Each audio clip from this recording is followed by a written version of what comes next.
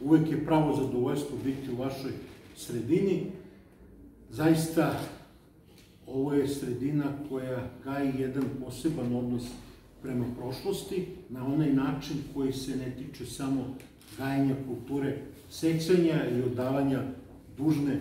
počasti našoj prošlosti, već ona sredina koja teži da se na jedan, pre svega naučni način, bavi prošlošću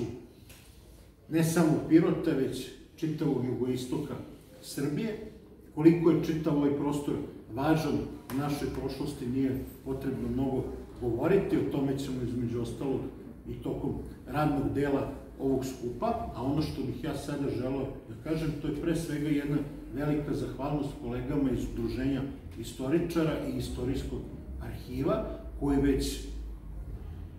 duži niz godina a, nastoje da organizuju čitav jedan niz naučnih događaja, da na poseban način obeleže septembarske dane u Pirotu koji su bogati jubilejima,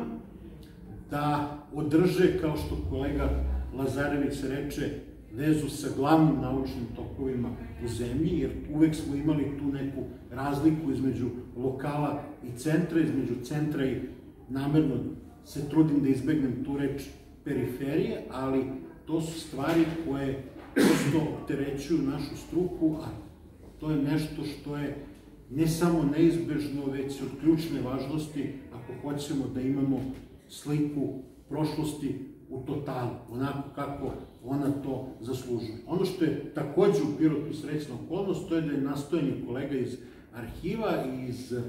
iz udruženja istoričara, ja bih tu dodao i iz muzeja Poniševlja. A u Pirotu jeste da je lokalna samuprava prepoznala odavno značaj onoga što dragi kolege čine i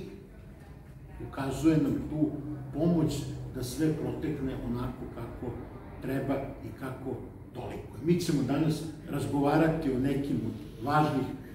istoriografskih pitanja, naravno nije to ni približno ono o čemu bi sve trebalo pričati, ali je važno da neke teme prosto otvorimo, a da se i nekima vratimo, naročito onima za koje smo mislili da su poznate i istražene, da sada prosto damo jedno novo svetlo tim događajima i procesima. Hvala vam na pozivu i nadam se da ćemo danas imati jedan uspešan rad.